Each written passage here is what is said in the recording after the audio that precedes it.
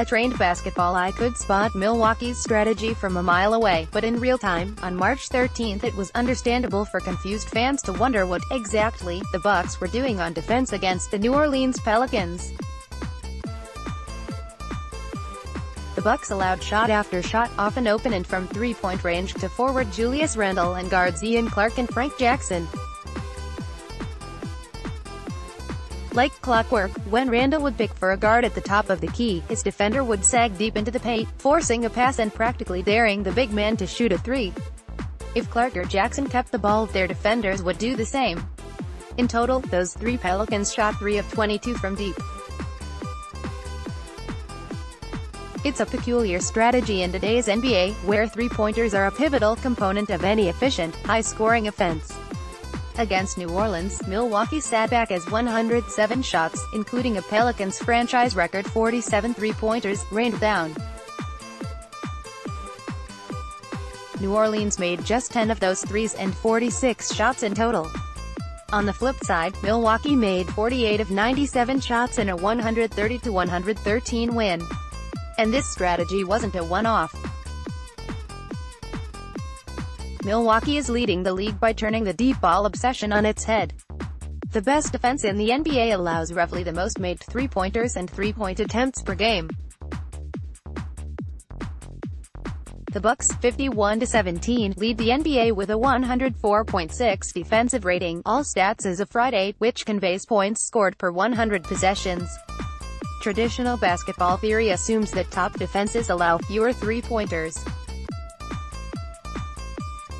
And in today's NBA, where sharp-shooting Golden State has won three of the last four NBA Finals, most teams try to limit to the shot.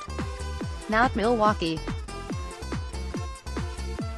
As evidenced by the 47 threes chucked by New Orleans, the Bucks allow 35.1 three-point attempts, most in the league, and 12.5 makes second most behind Minnesota's 12.6 per game.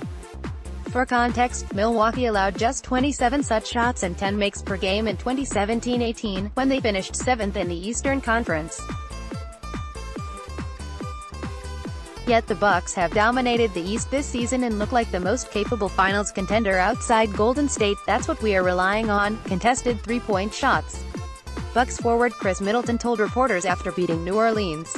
Get a stop and after that just push the pace push the ball and play with pace and energy. As Middleton points out, the Bucks are challenging all those threes. Allowing NBA sharpshooters to reign unchecked would be a fool's strategy. But it matters who's shooting those shots.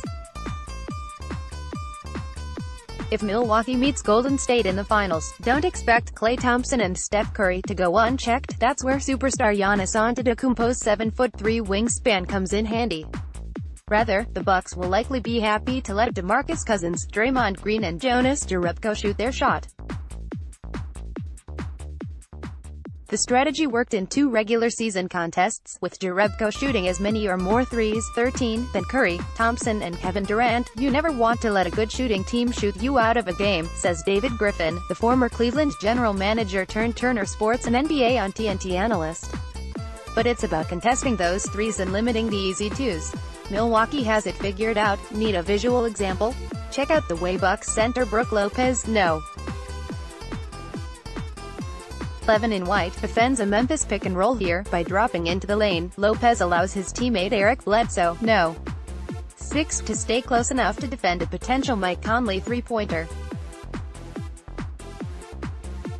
Conley passes to Marc Gasol, the worst shooter of the Memphis duo, Lopez lets him fire away. Sagging off Gasol, Lopez also eliminates Conley's potential to attack the basket. That's the key. The Bucks have made a conscious choice to take away easy two-point field goals while encouraging outside shots from less dangerous players. So far this season, the Bucks allow the fewest shots within 5 feet of the basket, 27.7 per game. All of this is highly ironic. Lopez is one of Milwaukee's best outside shooters, while potential league MVP Antetokounmpo makes fewer than one three-pointer per game. If the Bucks played themselves every night, they'd probably fare much worse.